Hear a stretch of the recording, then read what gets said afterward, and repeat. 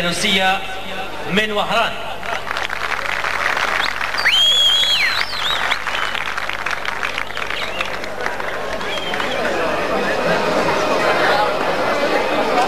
أيضا الجمعية تحييكم بهذا الوقوف وهذا التواضع الجميل.